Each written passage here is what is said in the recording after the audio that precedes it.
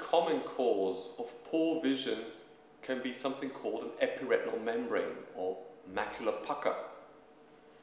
This is not what we call age-related macular degeneration, which is a completely different disease.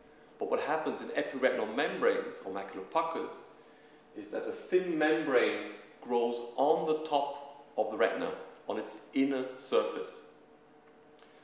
Here you can see the right eye of the patient with such an epiretinal membrane and the left eye, which is normal.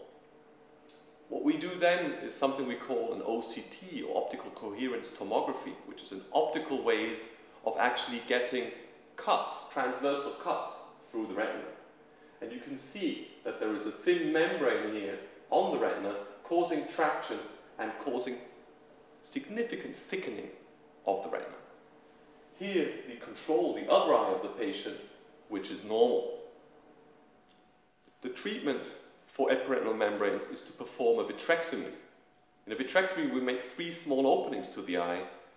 I remove the vitreous gel from inside the eye. I stain the membrane and then pull it off, peel it off with forceps.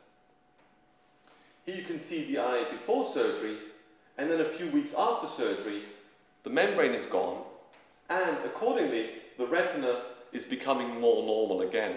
So it is a lot thinner, and its architecture is more preserved and more what we would expect in a normal retina.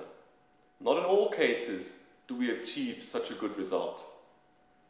But at least in most cases we can stabilize the retina and we can reduce what is called metamorphopsia, that the patient sees straight lines as wiggly lines, and after surgery, that is usually a lot better.